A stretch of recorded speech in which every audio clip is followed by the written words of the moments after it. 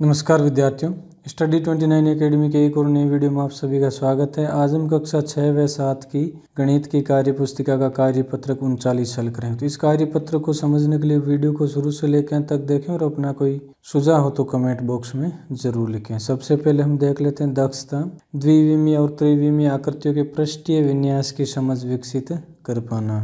तो इसमें भी हम द्विविमीय आकृतियाँ आयत वर्ग वृत्त और त्रिविमीय आकृतियाँ जिनमें फलक, शीर्ष और किनारे होते हैं। इन आकृतियों के बारे में समझ विकसित करें। पहला प्रश्न है, नीचे दी गई आकृतियों में से त्रिभुज, आयत वर्ग व वृत्त को पहचान कर उनकी संख्या लिखिए। तो यहाँ पर हमें विभिन्न प्रकार की अलग अलग संख्याओं में आकृतियाँ दे रखी उनकी पहचान करना है और उनको गिन कर यहाँ रिक्त स्थान में भरना तो ये जो इस प्रकार की आकृतियाँ होती है, त्रिभुज होती है तो इनकी संख्या जब आप यहाँ पर गिनोगे तो ये हो जाएगी तेबीस उसके बाद आयत। ये इस प्रकार की जो आकृति हैं, ये सारी आयत की आकृति है तो इनकी संख्या हो जाएगी सोलह। उसी प्रकार अगली आकृति है वर्ग। तो ये ऐसी आकृतियाँ ये सारी वर्ग कहलाती है और इनकी संख्या हुआ है इक्कीस।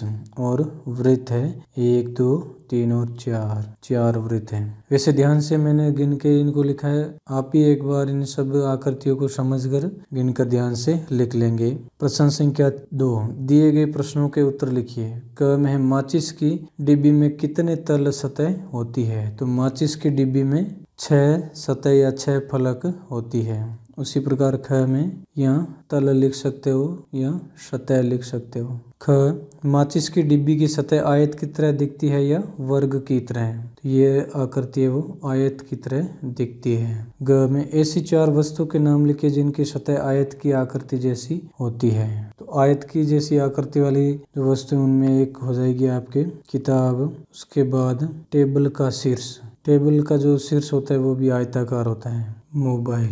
मोबाइल की सतह भी आयताकार होती है। इसके अलावा दरवाज़ा। दरवाजे की आकृति भी आयताकार होती है।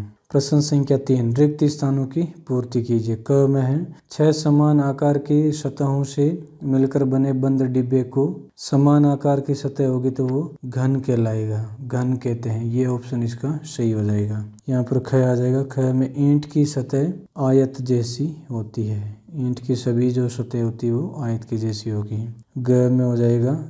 एक घनाभ में छह आयत होते हैं। छह सतह होती है, छह फलक मान सकते हो आप। घ में, घन में आमने सामने की सतह समान होती है। प्रश्न संख्या चार, बिना ढक्कन का, चौक का डिब्बा पाँच सतहों से मिलकर बना है, इसे खोलने पर इसकी सतह किस प्रकार दिखेगी? चित्र बनाकर दिखाइए। तो इसकी जो सतह बनेगी वो इस प्रकार की हो जाएगी। तो ये जो आकृतियाँ बन रही है, आप स्केल और पेंसिल की सहायता से बनाओगे तो इनकी माप बराबर बनानी, क्योंकि चौक का डिब्बा घन आकृति का होता है तो सारी सतह समान हो जाएगी। इस प्रकार इस वीडियो में हमने कार्य पत्रक उनचालीस को हल किया। अगले वीडियो में हम अगला कार्य पत्रक हल करेंगे। वीडियो अगर उपयोगी लगा तो इसको लाइक करें और अपने दोस्तों में शेयर करें। चैनल पर पहली बार आए तो चैनल को सब्सक्राइब कर ले, ताकि आने वाली वीडियो की नोटिफिकेशन आपको समय पर मिल सके। वीडियो को पूरा देखने के लिए आपका बहुत बहुत धन्यवाद।